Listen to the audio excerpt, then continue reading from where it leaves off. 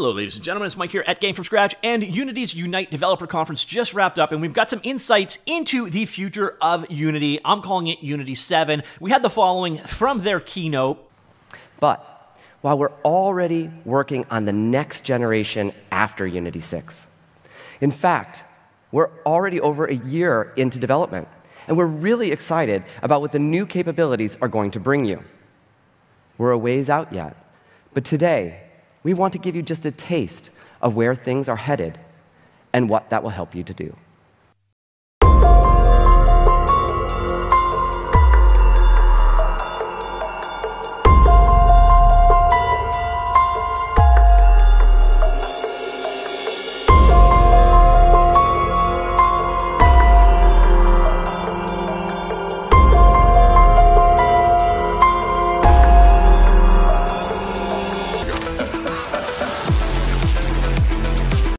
That is from the keynote. And what we're going to do now is take a look at the breakout session, the Unity Engine roadmap. Specifically, we're going to focus more on the next generation of Unity. I'm making the presumption that it's going to be called Unity 7, given that they just rebranded to Unity 6. If they rebrand it to something else again, that would just be madness. So we're going to assume the next gen they're referring to is Unity 7. Now, in this slide, they start off talking about uh, Unity 6, things that are going on currently with Unity 6. We already know about the new features coming in Unity 6. We got things like the resident drawer. We have new uh, AI tools in there. We have the new lighting system uh, with the automatic probe volumes, multiplayer improvements, and so on. And one of the things that they're coming into is that they're switching up the way they are doing their releases. So they're going to have longer, stable releases and faster, frequent patches. That means that 6.0 is going to be with us for a very long time, and we're going to see 6.1, 6.2, 6.3, 6.4 with more frequency than what we saw in the past.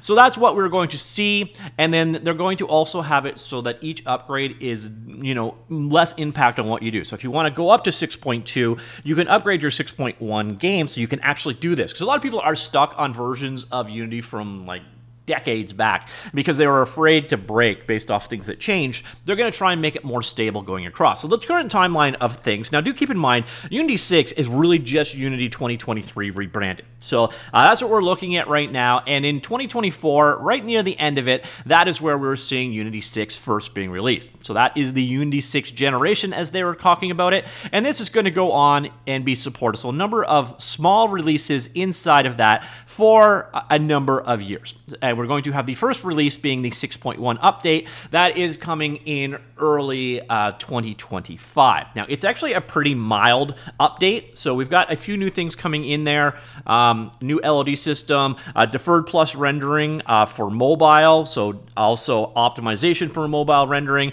We got a couple new platforms being supported and support for large screens and foldable. So you're not seeing a huge amount in these updates. Those are going to be instead be coming uh, in the next stage. And that is going to be where we come into, and what I am calling, so I'm going to skip through the six point stuff.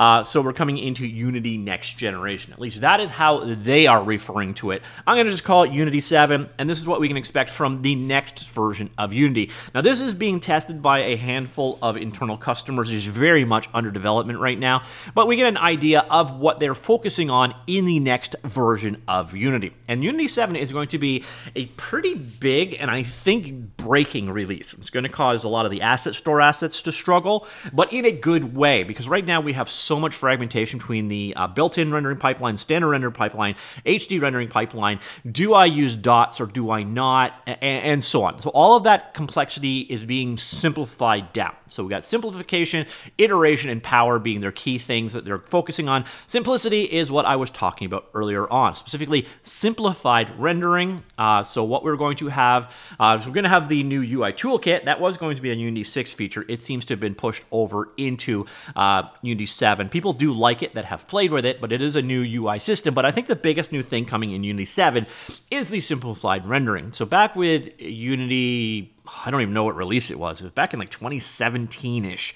Uh, they announced DOTS and the new scriptable render pipelines, and it forked into the universal render pipeline for real-time and mobile, HDRP for like high-end consoles and PCs.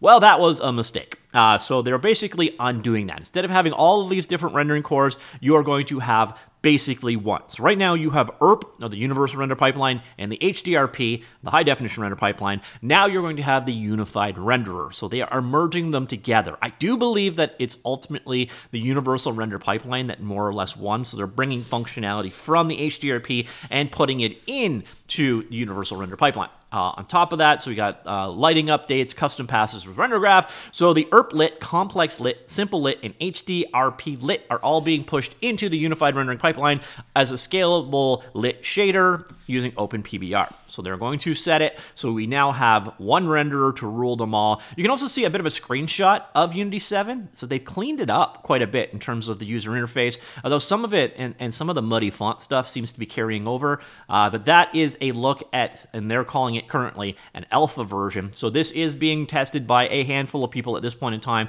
But the biggest thing is we are now going to have a unified rendering pipeline. I would call that the URP, but that obviously would be confusing at this point in time. But yeah, HDRP built in and Universal Render Pipeline are all going to become one thing, uh, which just makes all kinds of sense. On top of that, uh, Shader Graph 2 and block shaders are being added in as well. So you get some ideas how they work. You see some ideas of how the uh, coding works there as well. But the big thing here is the unified renderer um, and authors uh, author assets once for a complete set of platform reach. That's the big thing. So now all of a sudden, the fragmentation that we've been seeing on the Unity Asset Store is going to go away. Also have unified shader programming with OpenPBR and improved shader authoring with the new Shader Graph 2 functionality. So that is what they're calling the simplicity aspect. Next up, we go into iteration. And this is a big complaint about Unity right now.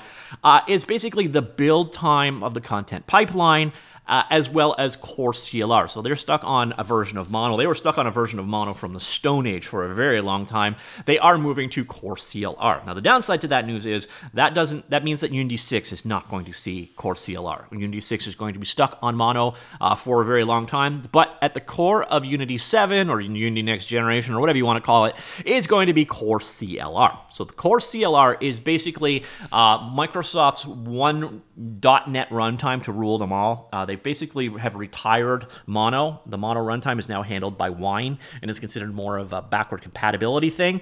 Um, so it, it's currently right now .NET 8, for example, is from November 2023. .NET 9 is November 2024. .NET 10 will be November 2025, uh, and they're going to support for quite a while. This is going to get you the most current version of .NET instead of being stuck on a version of C Sharp from several versions back. It's going to keep you up to date. On top of that, you will get per, um, better performance from the results of this change as well. Another area they're changing is the content pipeline. So what they're doing is basically moving things so that they will build continuously uh, and they'll import less and it will be done in the background. So it's importing without blocking. So that means when you're bringing assets in, it doesn't just hang Unity like it does today. You're going to have faster imports uh, and it's going to happen just basically in the background. So that is uh, definitely a nice change for people that are working with it. So uh, the iteration aspects here, they're bringing faster editor iteration times. Core CLR is going to be powering the editor, also obviously your code. Uh, new content pipeline with fewer blocking changes to keep you in the flow. That means that you know the things that you, when you import it brings Unity screeching halt. That is going to be a thing of the past. And on-demand importing with background processing. And then we get into the power aspect. And this is where they take, again, right now it's a fragmented mess because they implemented the data oriented technology stack, or DOT, which consists of ECS, of the burst compiler, and so on.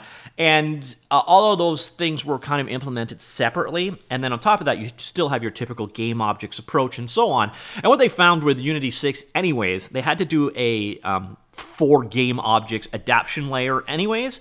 Uh, so what we're doing is basically building ECS into the core of Unity and then doing compatibility layers for people that like the workflow as it is now. So ECS is going to be an integral part of Unity, but you don't necessarily have to work in components. So it will automatically take advantage of it. Things like transform will be broken into components, even though it looks like you are working with game objects. So it's not going to matter which one you work with. Uh, it will be using the DOTS technologies behind the scenes. Again, transformations, entity transforms will be components, so they will be parallelizable. Uh, parallelable. I'm not sure how you'd say that word, but basically they will take advantage of the performance gains you get from ECS, but you don't need to do anything about it. We also have a new animation system coming. Uh, this is something that has been very much wanted for a very long time. So, completely new animation system is going to come in. Um, Unity 7. Again, I'm going to continue to call that. And then we've got some uh, new world building tools as well. And what's interesting with the world building is this is a lot like the um, recently announced Unreal Engine procedural generation stuff. So the terrain stuff kind of got um, ignored for a very long time. They, they didn't even have anyone working on terrain for several years, up till about three or four years ago. Uh, but now you're seeing, again, you can get a preview of what the new user interface looks like, but we're going to have non destructive terrain editing. Uh, we're going to have procedural generation. So, again, this is one of the big new features features of Unreal Engine. And this is the kind of stuff that I do think they should be focusing on, which is very nice. Shader graph integration, level design flexibility, virtual texturing, and tessellation. So this is kind of your uh, answer to Nanite, more or less. Uh, and then scattering of entities. And yeah, so that is where they're looking at from the power perspective. So that essentially is Unity 7's core new features going forward.